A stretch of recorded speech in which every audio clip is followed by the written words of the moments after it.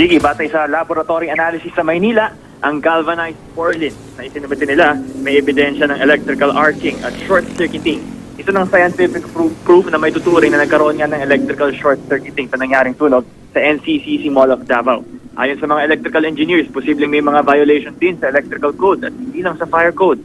Dahil may findings na magsasagawa muli ng evaluation ng task force para alamin kung ano-anong mga kasong isasampa sa mga may liability, lalo na sa mga na-relieve ng mga BFP officials. Aalamin din kung may karagdagan pang mga opisyal na may liability.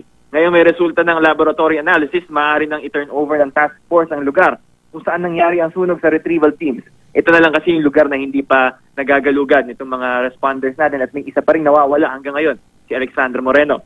Sa final walkthrough ng Interagency Anti-Arson Task Force sa NCCC Mall, nakakita sila ng sari-saring mga buto at ang mga doon sa mismong point of origin. Humiling sila ng reprocessing sa PNP Soco para malaman kung kanino yung mga buto na yon dahil posible raw na hindi lang ito buto ng isang tao. Uh, they're thinking na baka may mga body parts from other recovered uh, persons na naghahalo-halo na roon sa point of origin dahil uh, it was chaotic daw dun sa loob and madilim.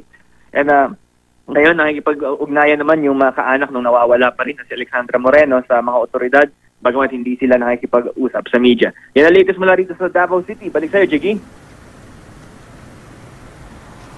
Maraming salamat, Bam Alegre.